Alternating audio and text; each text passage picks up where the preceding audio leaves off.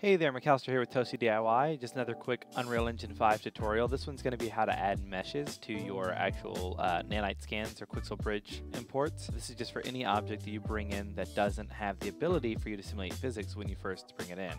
So for instance, I'm going to go ahead and take this barrel here and I'm going to undo what I've done. So give me one second. So now we have an object here that says simulate physics. It's grayed out. This one says true, but if I hit play, it should sink right through the floor. That, or in your case, the object may not be even moving, so you know, if I enable gravity, it would look more like this. Just sits there and doesn't do anything. So how do we add collisions to an object like this? What we do is we go into the static mesh of the object.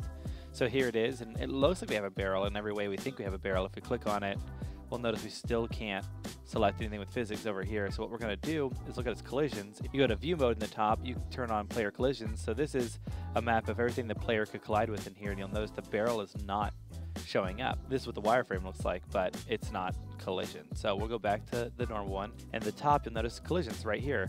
You need to have collisions in order for it to be simulated with physics. So you could do the auto convex collision here, and then you'll get this little one here that lets you select how many sides you want and the precision. If you hit apply, you'll get something like this. So this is the collision map for it. So we'll see it's kind of messed up. There's a little spot in the middle. Ideally, this might work for what you want to do if you want to have it just be where I couldn't walk through this barrel. The better one would be we go ahead and remove collision here and we go to 10 DOPZ, simplify collision, and boom, there we go.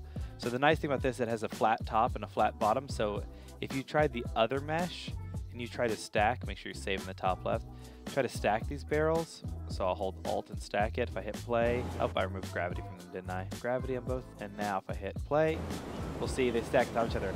If your mesh is a little odd or wonky, it'll actually just fly off in the air. So if you're having the issue of them jumping around, that's likely what you need to change is just go in there and change it to a very simple mesh. You can try out these different ones and remove them however you want to do it, but this is just a basic way to add collision to your objects.